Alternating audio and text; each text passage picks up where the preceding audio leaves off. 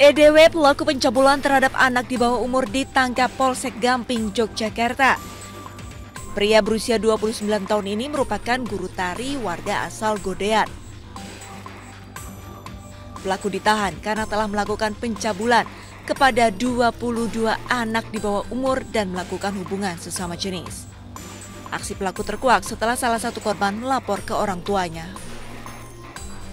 Eh, laporannya pada saat itu warga menyampaikan bahwa anaknya eh, menjadi korban daripada pencabulan setelah melihat video yang ditunjukkan oleh orang tua dari rekan korban yang juga sama menjadi korban eh, pelecehan seksual oleh pelaku.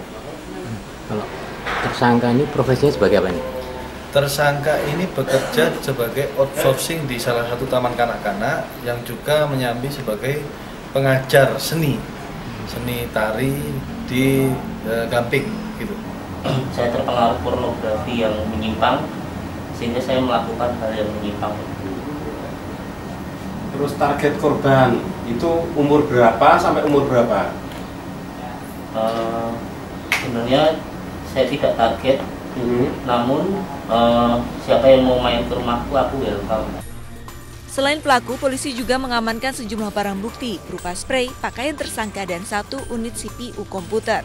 Pelaku dijerat dengan pasal tentang perlindungan anak dengan ancaman hukuman 15 tahun penjara. Dari Yogyakarta, Gunanto Farhan, Ainus melaporkan.